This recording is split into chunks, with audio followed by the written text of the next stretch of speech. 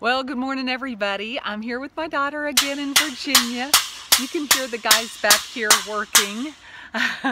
but anyway, we just wanted to say hello. Um, have five more um, of the chemos to go and just wanted to let you know we're doing great. Biggest thing is when there's a journey to be taken, take it. If you want to go see your kids, go see your kids. if you want to go to the mountains, go to the mountains. But just get yourself out there. Get up, get dressed, make yourself feel good. And there's Robbie. but um, just make sure that you're enjoying life every single day. Make sure it's an adventure. Make sure it's something fun that you can do.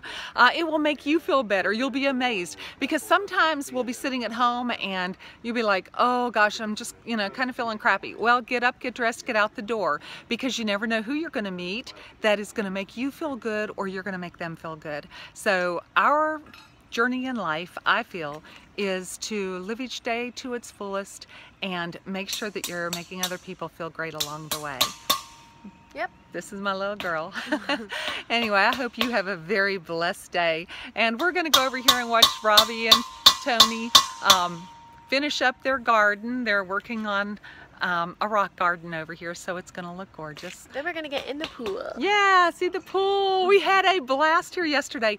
My sister brought my mother here as a surprise, and she came in from Tennessee. She drove down to North Carolina, picked up my mother and her puppy, and brought them up and shocked my sister that came in from Texas with her sister-in-law, Katie. So we've got Debbie and Katie and Peggy and Mom and little Missy. And of course the bullies are here mm-hmm. along with Christy and Robbie and Tony and I. So we have had an absolute blast. We came in on Thursday and we're leaving on Monday. And today is Sunday and it's a beautiful day. Lord, thank you for this beautiful day.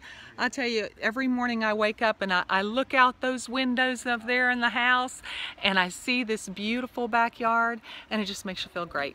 So I hope you're having an absolutely wonderful day. Get up, get out the door and enjoy your life. Have a great day. Bye-bye. Bye. -bye. Bye.